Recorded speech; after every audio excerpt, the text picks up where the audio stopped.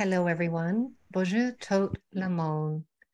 Welcome to the community, pardon me, welcome to the Communities for Climate Resilience, Climate Resilient Foundations webinar. My name is Tracy Vavrick, and I'm the Director of Learning and Network Engagement with Community Foundations of Canada. And it's so lovely to see each of you with us today. I'm coming to you from my home in Calgary, Alberta, Treaty 7 territory on the traditional lands of the Blackfoot Confederacy, the Tsuut'ina, the Stoney Nakoda Nation, and Metis Nation.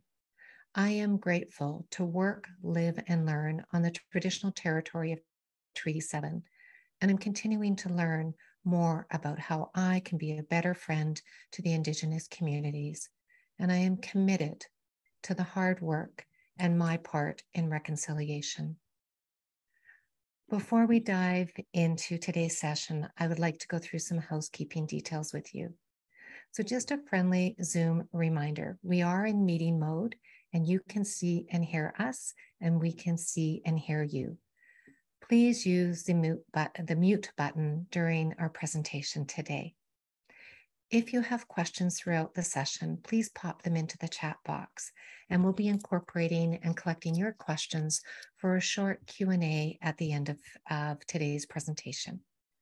And for the best experience, please close all other applications and use the speaker view on Zoom and turn up your computer's volume. Today's session is scheduled to run from 1 to 2.20 p.m. Eastern Time and is available in both French and English. To access the French and English interpretation, you'll see the globe at the bottom of your screen.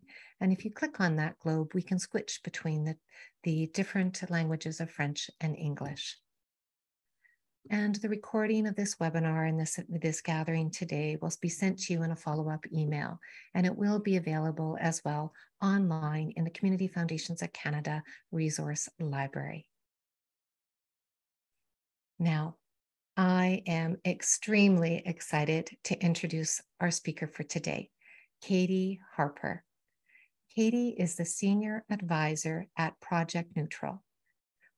Project Neutral is an organization that seek to educate individuals and organizations about their climate impact and the importance of taking climate action. Katie designs and delivers climate education and activation programs, including Talk Climate to Me, which is a fun, free, unscary online climate education experience for women, as well as Green from Home, which is a climate education and action program for workplaces. Casey, Katie, pardon me, works on climate engagement in the nonprofit sector and corporate sector and has been doing so since 2008. She loves helping people see what they can do to be part of creating a climate safe future. Katie, I want to thank you for taking the time today to teach each of us and to help us further our shared goals of sustainability. I am absolutely honored to hand the screen over to you, Katie. Oh, thank you so much. Um, I am delighted to be here myself. Thank you very much. Um, yes, uh, it is really fun to be part of this program and uh, the work that the Community Foundations of Canada is doing and all of the actual community foundations, uh, the members who are out there. Um, it's really cool to have gotten a little bit of a taste over the last uh, few months about the things that you're doing. So I'm excited for this today. Um, I want to start acknowledging that I'm a settler currently living in Toronto, which is the traditional territories of the Haudenosaunee, the Wendat, the Chippewa, and Anishinaabeg peoples, um, including the Mississaugas of the Credit, who are the current uh, treaty holders uh, tr with Treaty 13. And I want to pay my respects to them um, and to the wisdom of their elders and their cultures. And really to say that we can't solve the climate crisis without addressing the underlying systems that created it. Colonialism, extractive capitalism, patriarchy, white supremacy, these forces are the common root to the climate crisis and many of the world's other challenges. So we can't talk about climate solutions without Indigenous rights. And I hope that you'll see that thread woven through, uh, through our talk today. Okay, so what are we going to actually do today?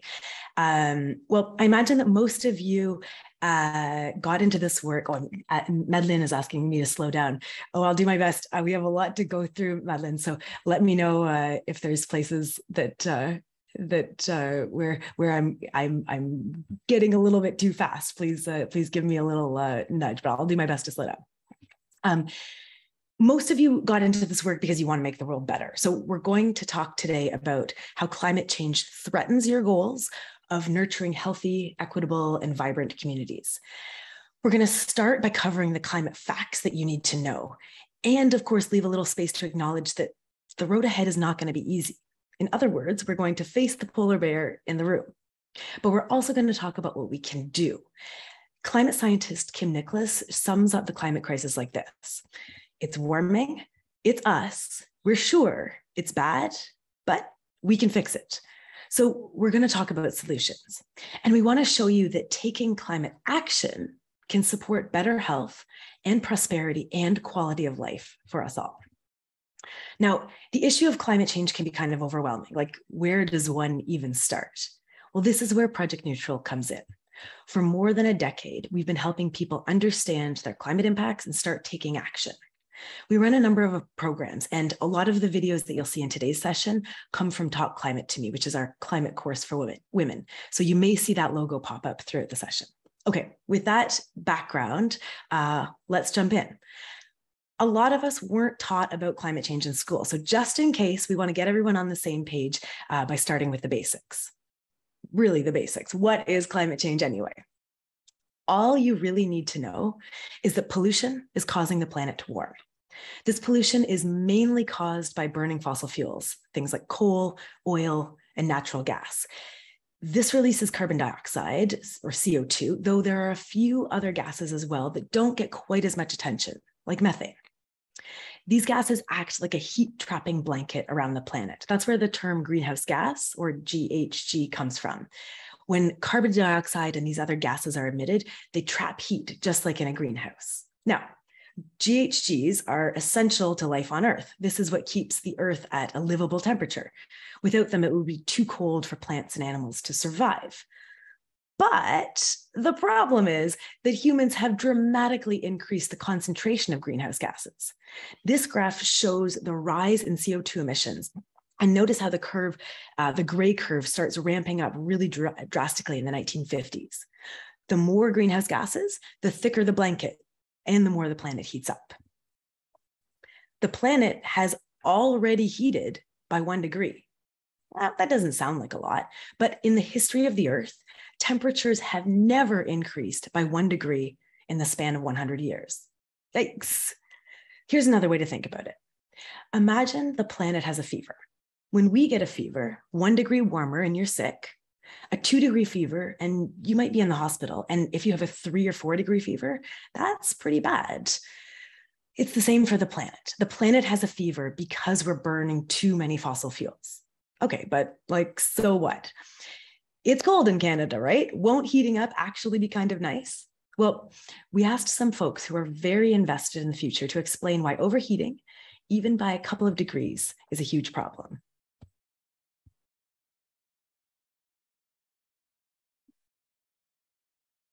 Why does warming matter?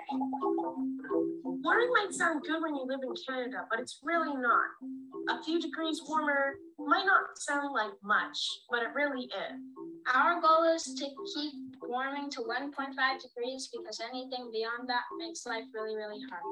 Under 1.5 degrees is what we want to keep life safe. But the warming has already happened. It's affecting everything. Predictable weather patterns we've been used to for centuries are being disrupted, which means more extreme weather. Tornadoes and vary, flooding, my soccer games keep getting flooded out, droughts, and forest fires, making it hard to breathe. In some places, it's getting so hot the world turned. Pretty much everything we've thought of as normal has been disrupted by climate change. This isn't the hottest year, it's the coldest year of the rest of your life. At a certain point, we can't stop the warming because of feedback loops. This is when the warming causes more warming, and it just keeps looping and looping and looping. This is called runaway climate change. And you know it's bad because if your dog ran away, that would not be good. That would be very bad. That's why it's really important that we bring emissions down now. Things are pretty serious because we've already locked in a lot of money and there's not a lot of time to fix it. But there's enough time to create a better future if we get moving right now. So let's do it. What do you think? Are you up for it?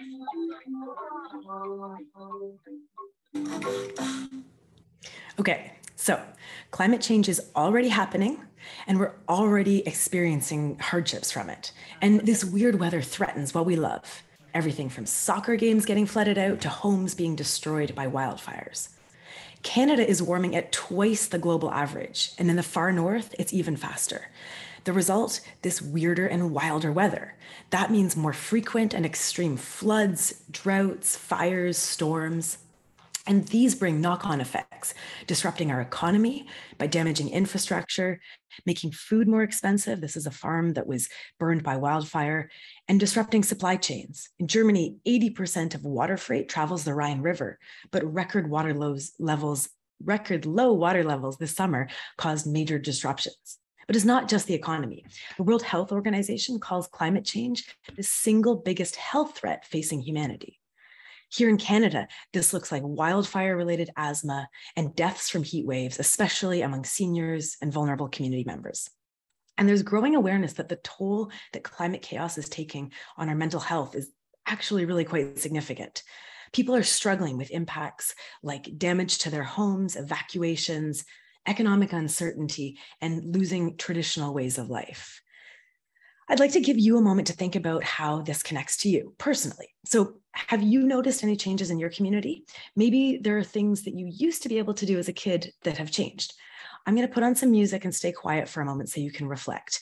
Um, and I'd love it if you would share some answers in the chat. We'll take about 30 seconds here.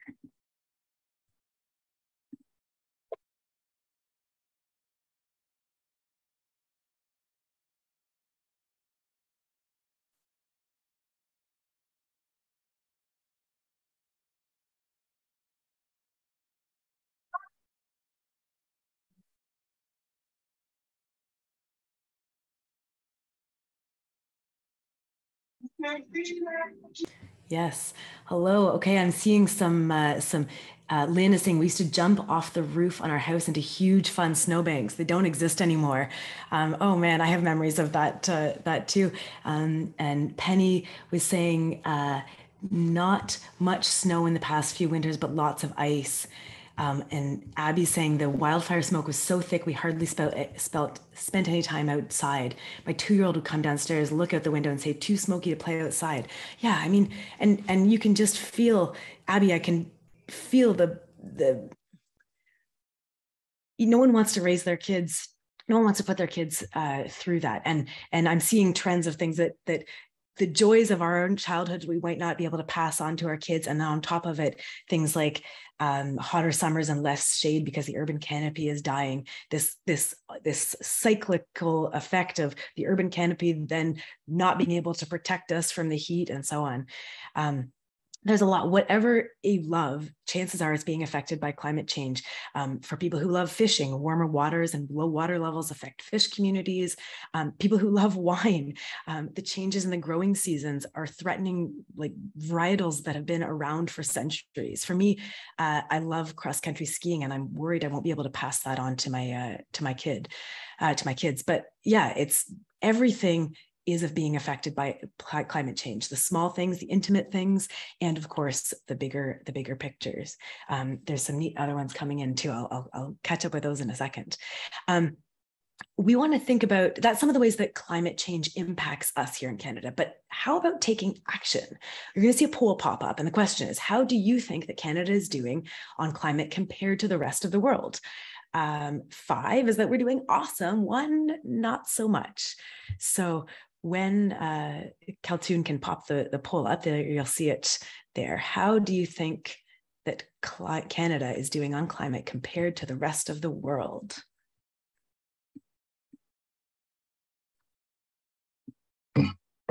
How, how many, Kaltun, how many um, people have, uh, have answered so far?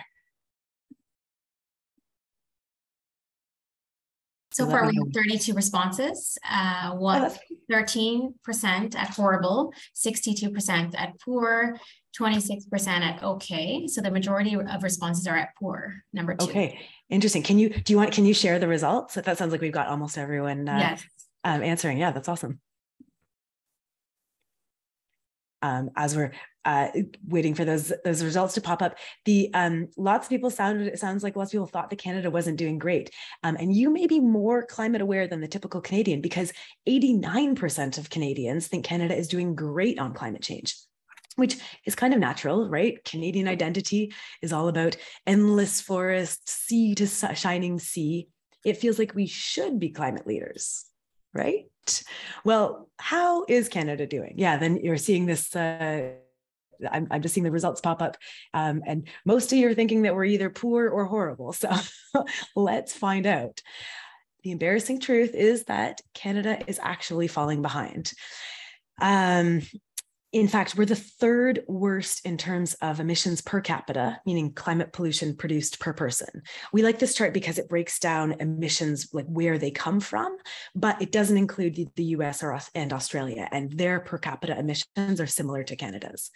Okay, that's per person, right? Right. Um, what if you look at the total amount of carbon pollution overall? We're a small country, so that must be low, right? No, Canada is still in the top 10. That is not a top 10 list that I want to be part of. And as Canadians, we often lean on, well, at least we're doing better than the US. But the United States is lapping us on climate action. Their emissions have decreased by 10% since 2000. And with the recently passed Inflation Reduction Act, they're set to decrease by 40% by 2030 in Canada. Our emissions have actually increased. Now, we hear lots of excuses like it's cold up here, and that's true. But look at how these countries are doing not we're not doing so great after all. Canada is the one in orange in the middle. There's Norway with a on a downward uh, trend in purple, and yes, Norway has lots to do, uh, especially on reducing fossil fuel experts. But then there's Sweden, who's dropped 20% since 2000. Everyone needs to act on climate, and that is particularly the case for wealthy countries like Canada.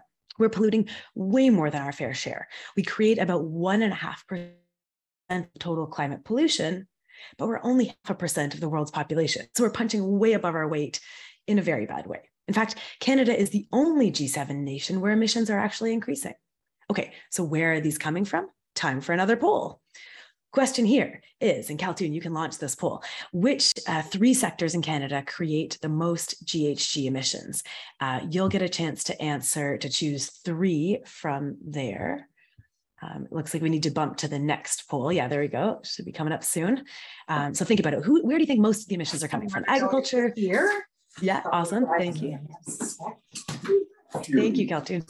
Um, agriculture, oil and gas, waste and others. See where your uh, see where your, your uh, results. Um, and Kaltun, how many? Uh, what percentage are we at in terms of uh, responses? Should we close the poll? Not yet. We're just at okay. 65, so we can wait a few minutes. Okay, awesome. Oh, I'm interested to see what uh, what people come up with. All right, let's close the poll in three. Last chance to get your final answers in three, two, one, and dun dun. dun. You share the oh, interesting. Okay, we're seeing the results now um, it looks like there's a pretty even spread, but transportation, oil and gas, and agriculture are coming across um, uh, as the as the leaders. Let's see how it actually breaks down. You guys are good.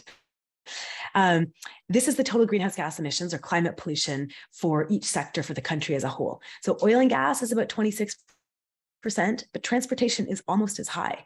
Um, and it's not just big trucks or hauling our stuff. Personal vehicles are a big part of that.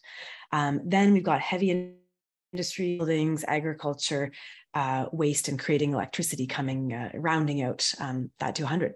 But what's not so great is that our emissions, particularly in oil and gas and transportation, continue to increase. So remember how Canada's overall emissions are increasing? It's really these two sectors that are driving, no pun intended, much of the increase.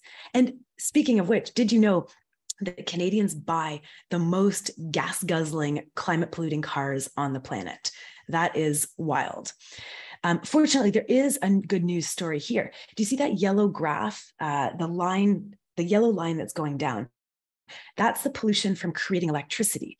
And it has dropped mainly because of closing down coal fired electricity plants. In Ontario, we used to have five coal fired plant, coal fired plants, uh, and now we have none.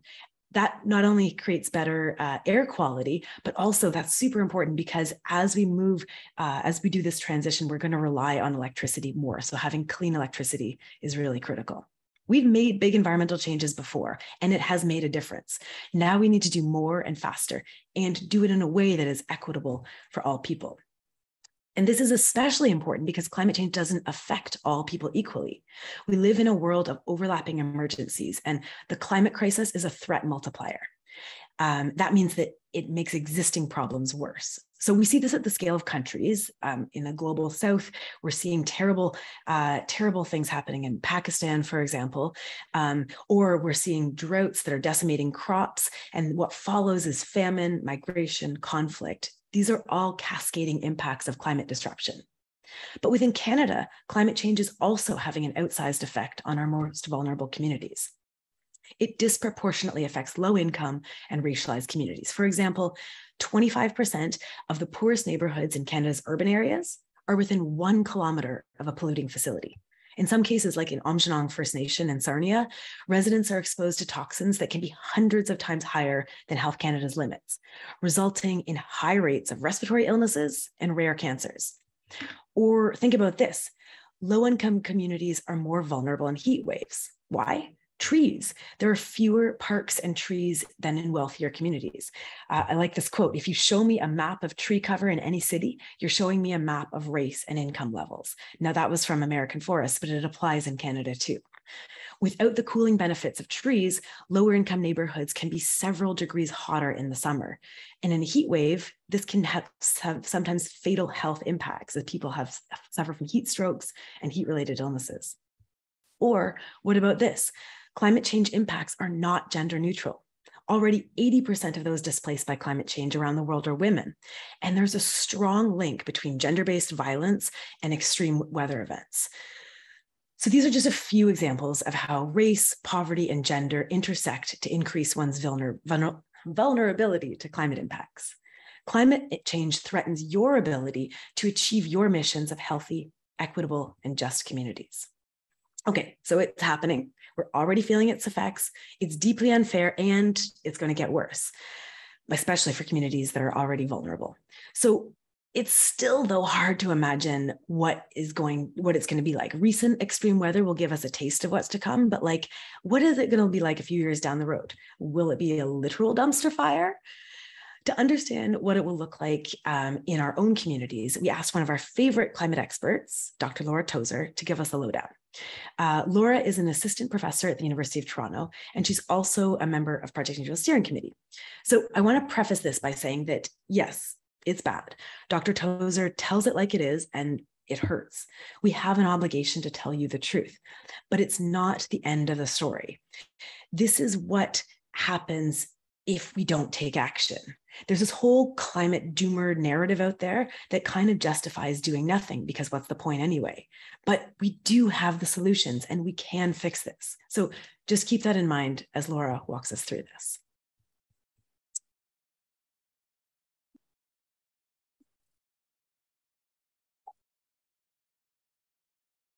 Climate change means literally everything will change.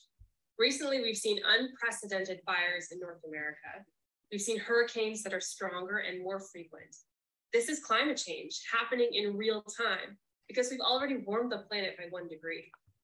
As we continue to warm the world by burning fossil fuels, we know that our weather will continue to get weirder, whether that's more intense heat waves or more extreme flooding or more severe storms. At the rate we're going, in 30 or 40 years, Toronto could have 55 days a year above 30 degrees Celsius.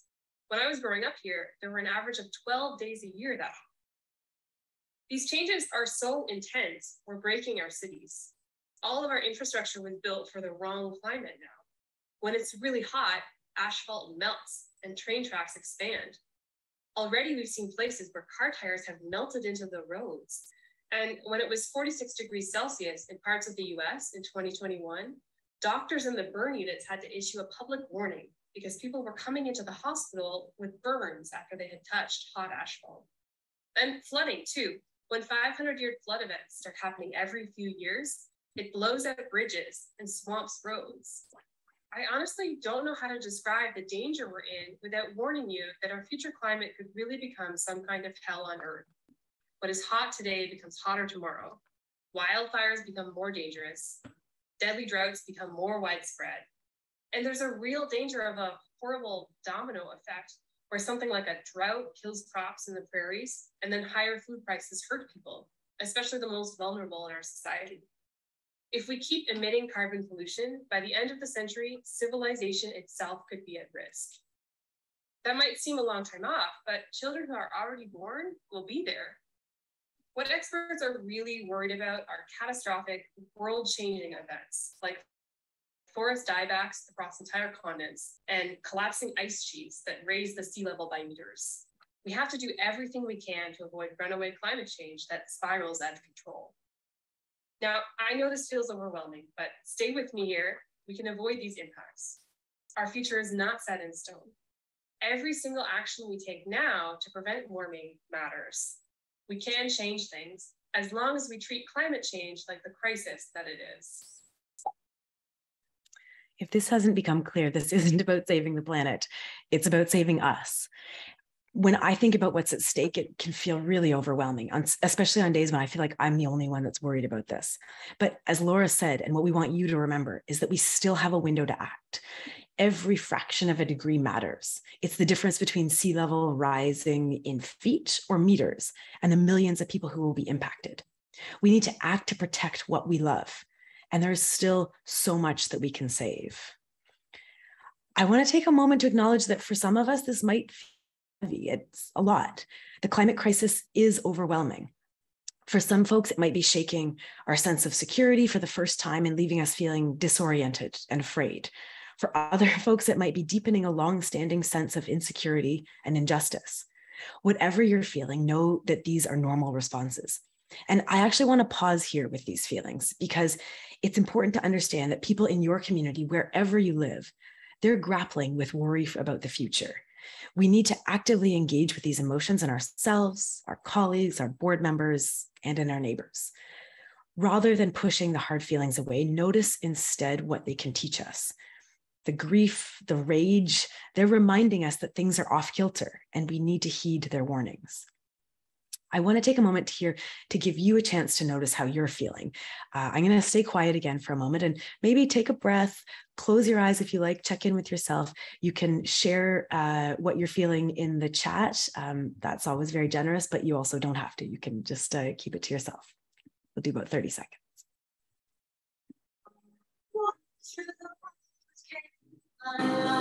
And sing the things you see. Let your names take a root and thrive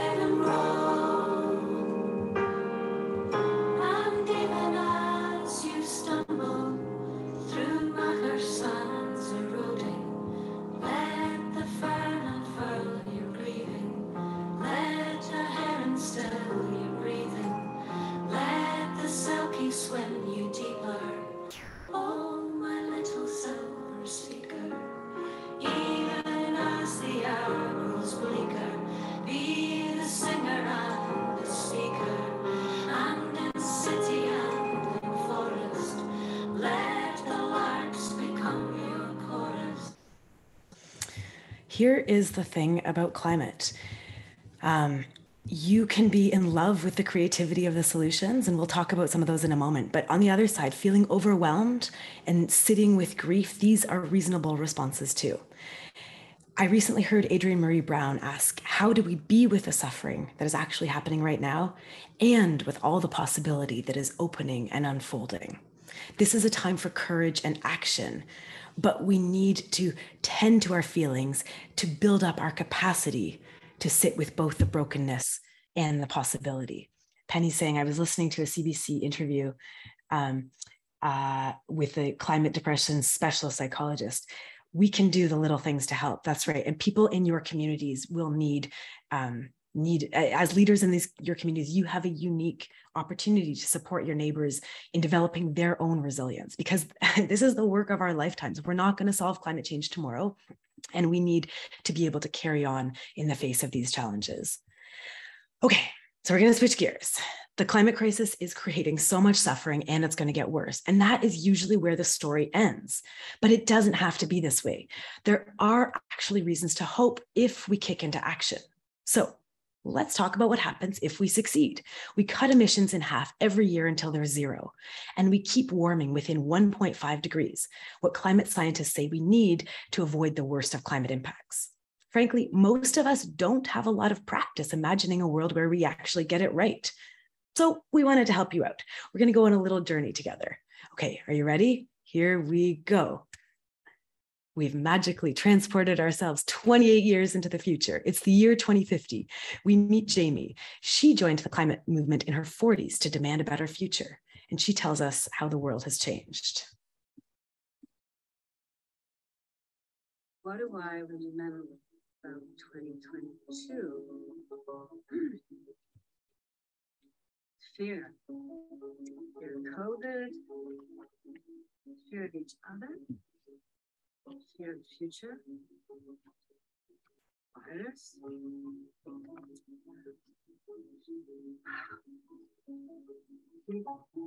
Oops. Oh, I'm so sorry. That was a slip of my cursor. Let me do that again. I'll move it forward a little bit. Read the code red climate report Things had gotten so bad, so fast. Floods, fires, droughts, hurricanes, happening all across the globe, all at the same time. But it, it finally sank in, it finally meant things had to change.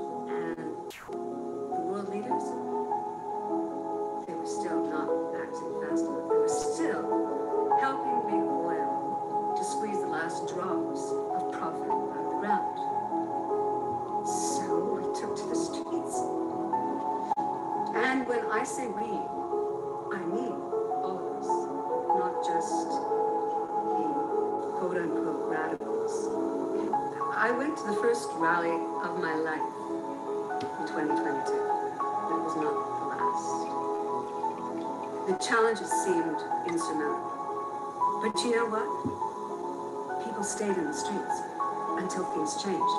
And then, boy, did things change. A rapid, accelerating, almost unbelievable change. It was incredible to be part of it. We felt like we were living through the most exciting time in human history. And it it took me a while to get over my fear, my fear of change. But fear wasn't necessary. What was necessary was openness and hard work. And the oil sands were over, but there were plenty of new jobs because there was so much to do. And there were so many, so many jobs in infrastructure that they were hard to fill. Houses had to be retrofitted with heat pumps and insulation. Public transit was scaled up, with people no longer thinking train was a dirty word, and cities added bicycle lanes for all the new cyclists, and, and, and parking lots were turned into gardens for local communities to grow food and enjoy life. There was a time when I didn't know my neighbors very well.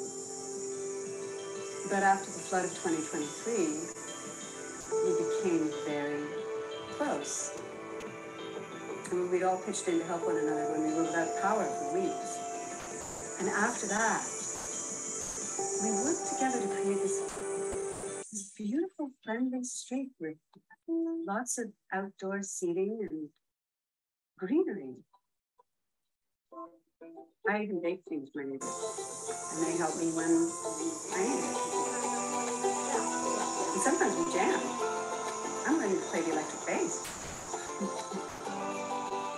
the future isn't what we expected. It isn't a world of flying cars and metallic mini skirts. It's more like we got rid of the bad, unhealthy things that had created the crisis. And we kept the best parts of the world that we know and love.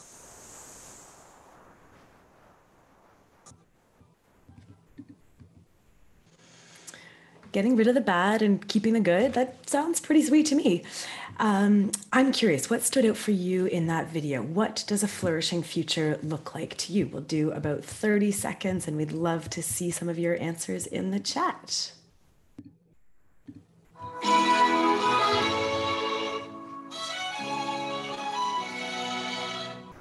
I was just born, I was just born. I've been crawling till I learned to walk. When I met you, I was so young. I didn't know that Tell me, what do I do? Now I see. And I know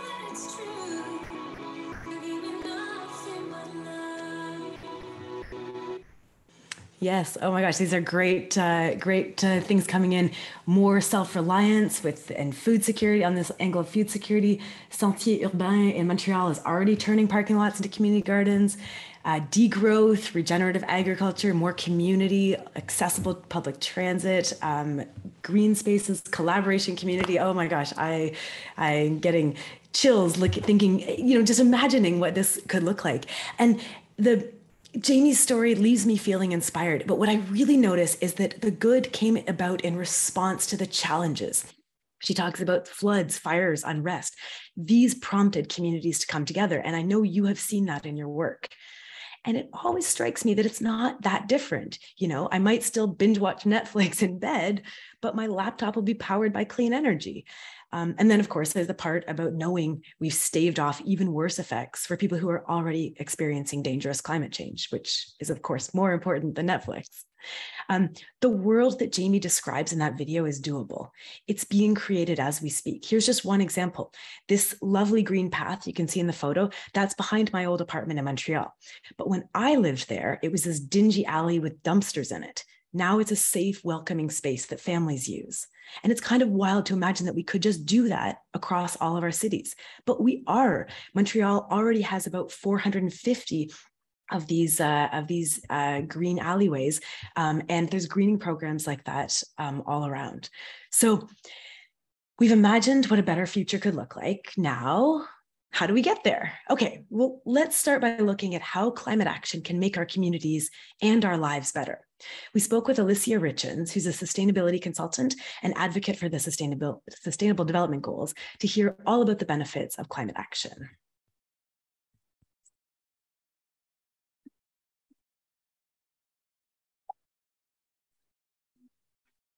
Hello, my name is Alicia Richens, and I am a sustainability and social impact consultant and affairs advocate for the United Nations Sustainable Development Goals. The Sustainable Development Goals, or SDGs, or global goals, represent a global framework for sustainable development that spans the economic, social, and environmental spheres. And they aim to achieve 17 different goals by 2030. It's the first truly global framework for sustainable development that recognizes that all countries, rich and poor, big and small, north and south, have a lot of work to do to get there individually and together. So I really get excited about the way that the SDGs frame not only our interdependence as a global community, meaning the way that we depend on each other, but also the interdependence of all of our issues. We're not going to eradicate poverty, for instance, without achieving gender equality. Sustainable production and consumption can't exist without decent work. And the health of our natural ecosystems around us requires courageous climate action that we know is mostly led by women. There's so many ways that climate action provides additional benefits to communities. You know, on one hand, I think about the retrofitting that we need to do to make our buildings and cities more sustainable, um, and also building out our infrastructure for renewable energy. And, and the way that that not only gets us you know, emissions reduction, but it also gets us decent work. It also gets us reskilling and retooling, you know, otherwise ununionized, marginalized communities, um, and gets them decent work that they can earn money and invest in themselves and their communities and, and just, you know, build out those ripple effects.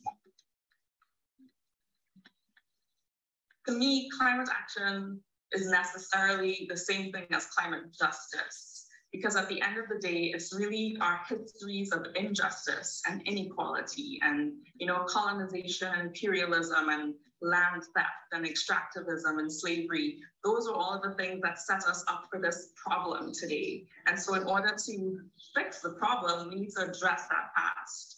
We need to redress, you know, our history and the injustices between us and really reconcile our relationships with each other and with nature because that's the only way we're going to get courageous enough to take the action that so far isn't happening as fast as we need it. What keeps me motivated is knowing that in the face of all this work, we're actually working toward a better future for us. And it's, and it's that vision of, you know, clean air and green landscapes and healthy relationships with each other and those landscapes that really keeps me motivated. Because it's not like the world is perfect today and climate change is just coming to ruin everything, right? The world is already a hot mess without climate change.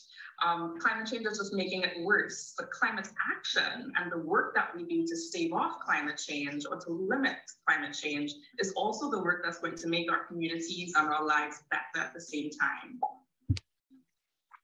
the world is already a hot mess, even without climate change. I love how Alicia's examples embody what Dr. Beth Sawin calls multi-solving. One action, many benefits. Um, for me, the big three takeaways are our problems are interdependent, but so are the solutions. I loved Alicia's examples of how building retrofits can reduce emissions and create decent work. Um, climate justice is key. To fix the problems, we need to address the injustices that created them. And climate change makes problems worse, but climate action makes life better. Okay, so to fix this, we need to wind down fossil fuel production stat. We need to get rid of climate pollution from transportation, but we also need to get rid of pollution from heating and cooling our buildings and the food we eat. So the fancy term for this is decarbonization, taking the carbon out of doing things. So how do we decarbonize in Canada? Well, we have to stop the pollution by getting off fossil fuels. Then we need to adapt our towns and cities so we can live our lives without polluting. And finally, we need to work with nature to absorb carbon and make our food system sustainable. Basically, we need to do all the things. Now, each of these could be a full course on its own, and we're not going to go deep into them, but let's look at some really quick examples from each of these three categories. Um, getting off fossil fuels. First, imagine what this could look like in your own life. Imagine if this was your last gas furnace or your last gas stove, and you were about to get a high efficiency heat pump and make your home more comfortable. I'm super pumped, get it, about my new heat pump that I'm uh, installing. And induction stoves really are the future. Uh, natural gas stoves create terrible indoor air quality and, and increase the risk of asthma. Now, imagine scaling that across an entire community. Um, how could you help communities end energy poverty, benefit from cleaner air, and help the climate, like in Heiltsuk Nation, where they replaced diesel furnaces in on reserve homes with air source heat pumps that were powered by clean energy. Or if there's other ways too. What about training and mentoring energy advisors in underserved regions so that you can jumpstart the clean energy transition? Um, or helping to add solar panels to schools or nursing homes or wherever. I'm sure that you have other ideas too. What about adapting our towns and cities so people can live better without polluting? Well, we've already seen that transportation has a huge impact on our GHG emissions here in Canada. Now, imagine finding ways to active, add active transportation to your own life. It's healthier, it's usually faster, and it's definitely more pleasant to commute by bike or walking in places where it's possible. And it's not rocket science. When we give people safe and affordable options, many will leave their cars at home. At the community level, this means investments in rapid transit and safe walking and biking paths. It also means encouraging electric vehicles like electric buses and creating 15 minute cities where you can find everything you need within just 15 minutes of home. Paris is actually working on this right now. Less driving also means cleaner air. In fact, it's estimated that we could save 112,000 deaths from air pollution by meeting Canada's net zero targets. Now, we all love this carbon sink. Working with nature can be as simple as planting a tree in your backyard or completely revolutionizing agricultural practices from rain gardens that help reduce flooding to protecting forests and wetlands to supporting regenerative farmers who are restoring soil health and in many cases growing culturally relevant crops. There are so many ways that we can help heal our ecosystems and encourage green and thriving communities. So these are just a tiny taste of the range of climate solutions out there. Notice as we go through these, do any of them pique your interest? Um, and notice that all of these solutions are already underway. We can do this. Um, Canada has mobilized before. Just think of the war effort, or of course, COVID 19. But up until now, the climate emergency has not been treated as, as such. And of course, it's as much about the way climate solutions are deployed as the solutions that we focus on. So, for example, some solutions actually perpetuate colonial practices and create further injustice. For example, protecting landscapes so they store carbon. That sounds amazing, right? And it can be. But in practice, some nature based solutions just exclude Indigenous communities and undermine their rights and responsibilities to steward their lands and their waters. Colonialism is built on ideas of domination over land, over people, rather than recognizing our interdependence. And this ideology is a root cause of the climate crisis. Indigenous rights are the solution. We, the voices of Indigenous people must be centered in climate policymaking.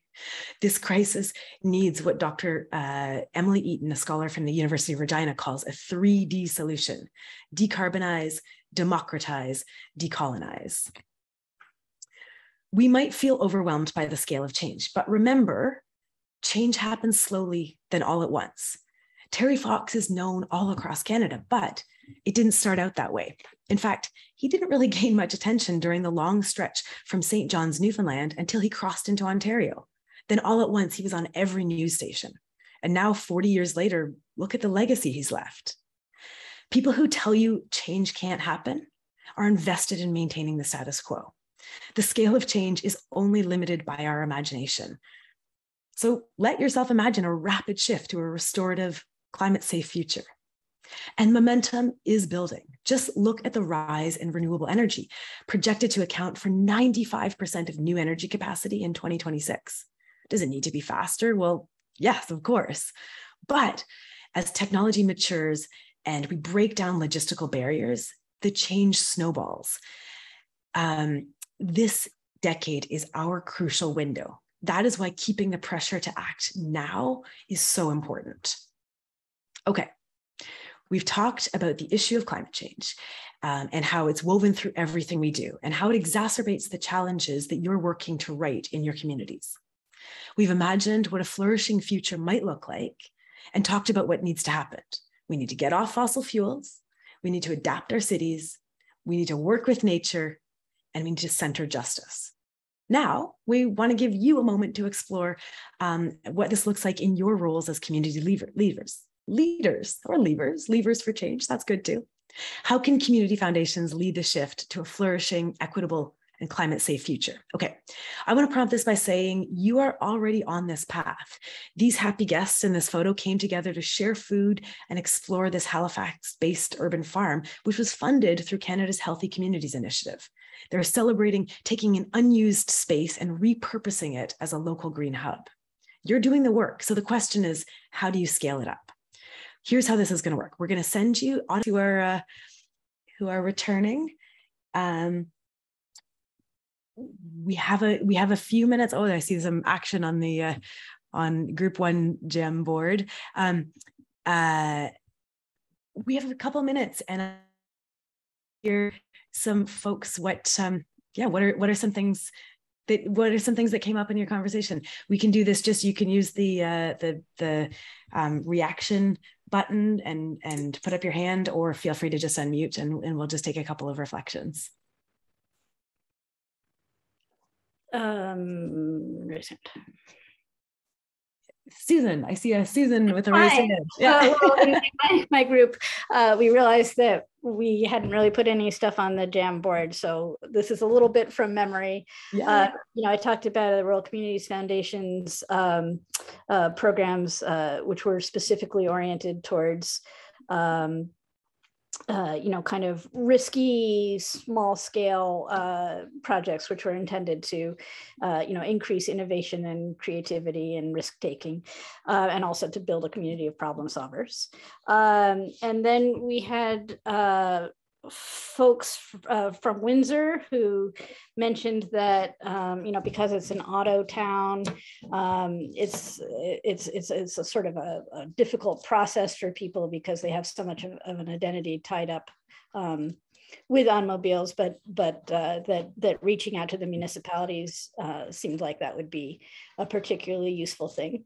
Uh, and then um, and I'm I'm so sorry I, I my memory of people and faces is sometimes not very good.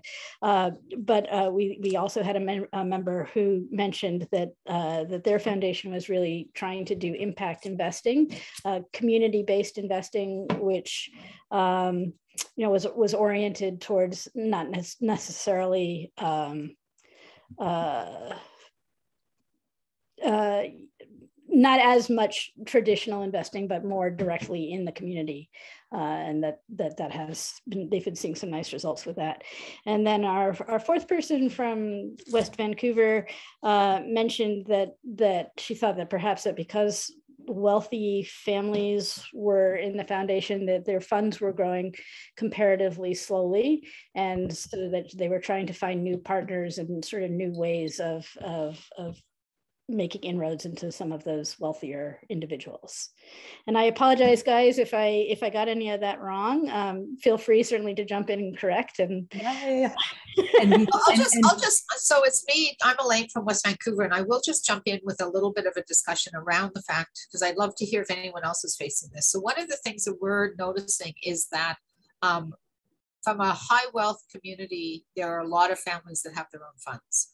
Um, so they're not in, in affiliation with the foundation necessarily, um, but we can have influence on them, you know, and we could help to harness some of that money. But it's kind of like their their their family funds may come to us when they decide to wrap them up, but at this point in time, they're pretty active. And so, you know, it's a little bit of how do we get inside of those discussions, you know, or how do we help to nudge them in this way? And, you know, one of the great examples that just happened is Chip Wilson's donation, um, to you know BC Parks, and uh, which isn't necessarily strictly on climate, but it's in that spirit. And uh, but that took a very long negotiation with BC Parks. So I'm just I'm interested if anyone else is seeing that. Yeah, and how do you have those conversations with them?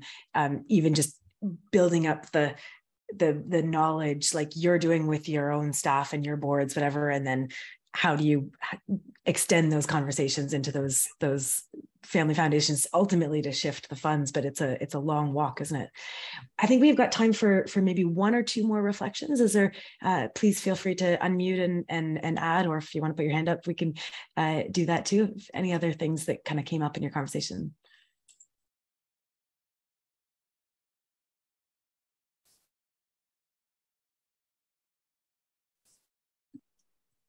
no no one's feeling inspired to. If you do feel inspired, please, uh, please jump in.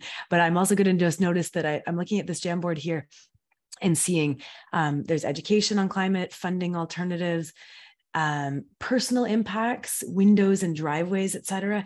Personal impacts can be a really interesting way i think i think like pers- this is referring to personal actions like what can people do to get fossil fuels out of their homes and yeah modeling this and showing people that you, you know you can go fossil free in your home. I'm doing that right now where we're getting rid of our natural gas furnace. Um, we've already got an electric stove. Those are the two places and and and uh, we're going to electric water heater as well. Um, oh can everyone see the Jamboard is a is a good question. The link should be there but um, uh, if that's not working then let us know elaine. But yeah showing how you can do that. We have one mnemonic that those of you who are in the cohort that we're going to meet on thursday you'll hear me say fleet heat meet repeat. So we have to, uh, if you scroll up, you can see the link, uh, but I can put it again. Um, uh, there it is. Thanks, Katrin. Um, making changes to in how we move around in the world, flying and driving, how we heat our homes, getting fossil fuels out of our homes, um, and the amount of like meat and dairy that we eat. Those are really actually high impact personal actions that we can do. And if you do them at the scale of a community, um, it really ramps up. And of course, we also need the, the larger systems change, but those things are not um, separate from each other. They can, we, we often talk about the ripples that we make. So the actions that we take how can we encourage other folks to do them by uh, by rippling it out um, i'm going to shift gears now just to um, uh, on this but the jamboard should be available for folks to keep looking at um, these actions and for those of you who are in the cohort uh, and and um, who will be meeting on thursday then i'm so excited we'll get a chance to continue this conversation um, let me just find, I have too many windows open now because I've been opening up other things, but um, I want to leave you remembering that you actually have a really significant um, um, um ability to influence change. The, the acronym was HEAT, fleet, as in how you move around in the world, heat, meet, and repeat rinse and repeat. Just do that over and over again. Um, that can make a that can make a big difference. And the key is a lot of people are really burdened by things like oh no am i recycling right? Or am i bringing a reusable straw? That is a distraction from the big shifts that we need to change to totally um, reshape our economies. Um, and so helping people take the burden off this, because a lot of the burden has been put on individuals and it doesn't need to be. Let's focus on the high impact actions that we can all take. Um, and and yeah, and then give ourselves cut some slack as well. Okay. Um, yeah, the the the philanthropy for climate um, implementation guide is such a fantastic resource uh, uh, that's available to you. And I know uh, you will have all have seen that before. Um, we'll pop the link in the chat. Oh, there, has already popped the link in the chat, just in case it's not handy for you. Um, and just to remind you that we're talking about mobilization on a massive scale. We're in the midst of this great transition, was Joanna Macy calls it the great turning people in your community need your courage and your leadership and your compassion to help them navigate this new terrain. Change is hard for people. Um, at Project Neutral, we've been having these conversations for a long time, and I wanted to share a few additional tips that we've learned over the years. Um, so these are kind of some of our top tips. Number one, assume people care. Often we assume the opposite. We think, oh, I'm the only one that cares about this. In fact, a new study found that um, in the US, people uh, support for climate policies is double what most people think it is.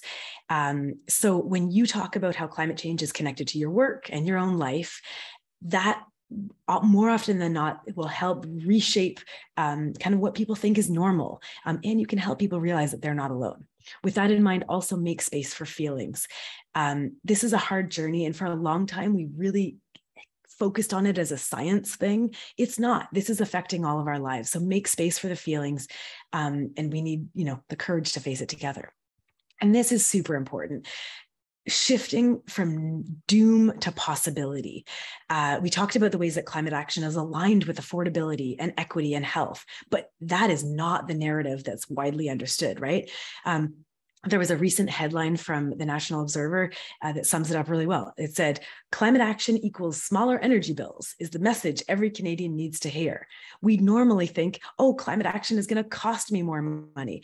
No, it's actually the reverse. Climate action can make life better, but you have the opportunity to help shift, uh, open up the imagination for what's possible and shift the way that people think about it. And you can do this by showing that the transition is already underway. Millions of people are already working on this. Um, so showcase your local climate champions who are making homes more comfortable and affordable through energy retrofits, or championing local regenerative food programs, or helping newcomers to Canada get their first bike, whatever it is there those initiatives are happening in your community showcase them um, and i probably don't need to remind you uh, that communities are the key to climate resilience and action. Um, think back to our postcard from 2050 the, the, the jamie video. She didn't know her neighbors until they came together to respond to an emergency. So communities really um, underpin our response, um, but also how we can transition in a way that really takes care of everyone. Um, we've been working at this uh, for more than a decade, and actually, I wanted to let you know that our programs are available to you. Many of them are free. Uh, like Talk Climate to Me is the course for women. We've got a, a, a new session starting in October. Um, or we've got a program for youth, Kids Cutting Carbon. Um, low carbon communities is coming online very soon, and it's all about measuring the climate impact of initiatives at, at a community scale. Um, and um, greening Green from Home is our program for workplaces of all kinds. Um, and so these are available to you, and we would love to continue the conversation and, and support you in your efforts. As we're wrapping up, I just want to leave you with a few of my takeaways. You probably have some of your own, and I'd love to hear them. But here we go. The planet has a fever, and it's going to get worse because we're burning fossil fuels. But change is possible. We can fix it. Stop burning fossil fuels, restore healthy ecosystems so they capture carbon. And this can actually make life better. But we need you and everyone. I want to close with a poem by Adrienne Rich, whose lines inspired the title of this galvanizing climate feminism anthology, All We Can Save. And she, she writes, My heart is moved by all I cannot save. So much has been destroyed. I have to cast my lot with those who age after age, perversely, with no extraordinary power, reconstitute the world. You are doing the work to reconstitute the world to be healthier, more just, and more beautiful. And it's a magnificent thing to be alive at a moment that matters so much. So thank you for your time. Thank you to the Community Foundations of Canada for uh, for inviting us to to be here today. And yes, really encouraging you to uh, go forth with courage and compassion. And we're excited to see where you go from here. Oh, Katie, I just have to share. My heart is so grateful for you and for this moment that we've shared with you today. What a magnificent thing to be alive at a moment that matters so much. Imagine all of us holding that in our heart today as we leave and mm. holding that place of courage, of curiosity, but also of action. everything, yeah. So, everything that you shared with us today is about our well being, and everything that you've shared is also around how we have a shared responsibility to protect and preserve our climate and our planet. Thank you so much for what you've shared with us today. Thank you so much for reminding us of imagining, imagining the future, imagining for better opportunities for ourselves, our communities, and for others. And as we continue to venture along the course of climate change, it is one action at a time. As community foundations that are here with us today, we know that we each take leadership roles in taking climate action and recognizing the importance of working within our own organizations, with our communities, with our donors, with our community stakeholders, and etc. Our responsibilities are in a leadership role, and we can continue to navigate and continue to use our resources and tools to ensure that we have a bright and possible future. But we do know that climate change is complex. And you shared that with us today, and you challenged us with that today. But I'm also mindful you gave us hope, you gave us courage, and we are all part of this. We are all doing this together, and we're all working towards a better and a sustainable future. I truly appreciate the engagement of everyone that joined us today you participated, you took time to be curious, you took time to contribute. I was watching the Jamboard, and oh my goodness, that was amazing to see. I also want to express my appreciation to Kaltun that supported you today. Kaltun, thank you so much. Was seeing all of your great chats and the great resources you were sharing with all of our attendees today via chat. So again, as we get ready to leave today, Thank you so much to all of you. Thank you for joining us. Thank you, Katie, for sharing your knowledge with us today. And as we leave today, I'm really mindful that many of us have more questions. And I'm really mindful that we have a responsibility to act upon our questions, to take and build our path forward.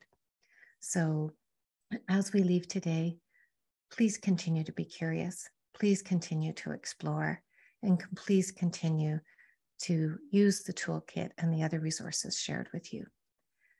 We will be providing a follow up email with everyone with a copy of the recording and as well as the various resources that have been shared today.